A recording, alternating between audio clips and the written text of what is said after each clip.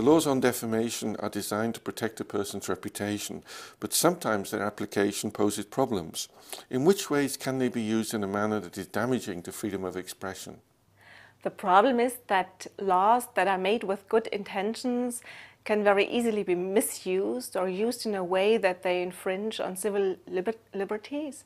And that's exactly the case with defamation laws. They are necessary.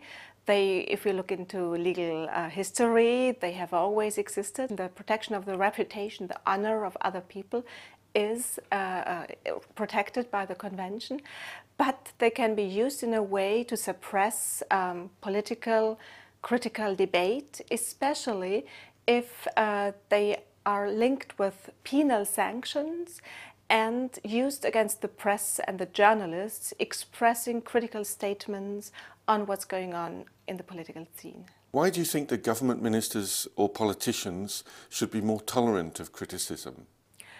Well, they expose themselves to the public, they go into the light, so to speak, and they want to be elected, they want even to be loved by the public, and they want to convince that they are great and can assume responsibilities. And that's why they have to accept, they have to tolerate that people look at them and scrutinize what they do, scrutinize what they have done in the past. And that's why they have to accept criticism to a much larger degree than uh, normal people. Do you think that freedom of expression extends as far as attacks in written, spoken or even cartoon form when they concern religious, cultural or national sensitivities? Religion, culture, national identity are very much in the center of public debate in an open society. So of course they form part expressions on these issues, form part of freedom of expression. And the form like cartoons or exaggerated, other exaggerated forms are protected. Uh, that's essential, I think, for whatever debate in a democratic society. But of course, there are always limits, especially if very sensitive questions are concerned. And generally, the court would talk about hate speech that is not allowed if uh, some uh, attitudes are criticized uh, on the basis of intolerance and just with the only aim to spread hatred. As far as Article 10 of the European Convention on Human Rights is concerned, what are the main issues that a judge has in mind when considering a case involving defamation?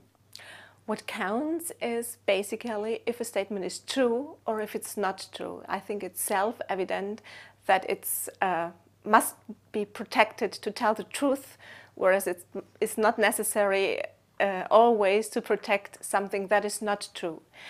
And, but uh, the problem is that uh, value judgments are not, uh, cannot be assessed on the basis of uh, the question if they are true or if they are not true.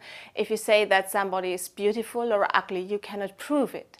And so the judge has, in a first step, to decide if a statement is a statement on facts or if it's a statement, it's, it's a value judgment.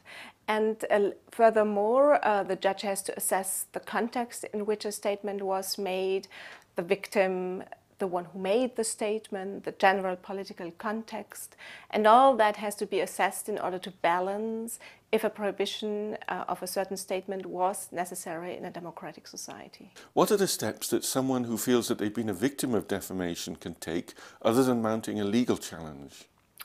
For a politician, it's quite easy to react directly to some accusation by defending himself or herself in the public arena, by taking the microphone and answering to what he or she was reproached.